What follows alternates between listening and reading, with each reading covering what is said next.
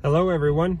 This week we are doing a quick tour of our milking barn. This is a merry-go-round type parlor where the uh, cows get on, they do the circle, and then they step off again, um, all in a continuous motion.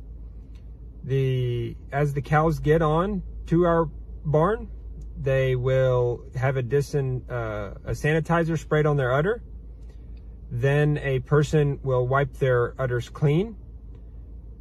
And the second person will then attach the milking machine. This milking machine um, mimics the calf's um, sucking of the milk. So it actually sucks the milk out, doesn't squeeze it out. And it goes around and there is a sensor on the on the machine that whenever the flow has dropped, it will automatically take the milking machine off then, uh, then when the cow's done milking, the uh, cow is sanitized one more time with a, a dip, kind of a sealant, and she goes back to her milking pen where she spends the majority of the day. The milking process itself really only takes about five minutes, and we do that twice a day.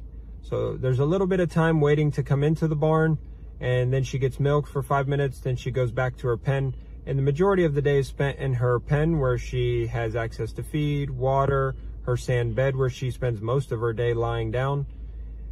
So that's kind of a, a quick tour there. Some some other interesting facts is uh, the cows give about eight gallons of milk per day. Uh, just an average number. There's cows that can give uh, twice that amount, and there's some that give less. So this is where the milk comes in and it goes through these filters. They're just like the soft filters. And then uh, I would say feel the pipes and you can feel the milk. It's uh, almost 100 degrees. It's 98 degrees body temperature. And then that milk goes through our heat exchanger and that milk, uh, it goes in at 98 degrees and comes back out extremely cold at about 36 degrees. So just right above the freezing point is where we keep that milk and then it gets stored in our tanks which continuously stir the milk so that the butterfat doesn't separate out. And we have three of these tanks here that we can uh, that we can uh, alternate, and then each one gets washed after the milk's been picked up. Well, thank you so much for joining us today on our dairy dialogue. We uh, we hope you follow us on social media and keep buying the milk.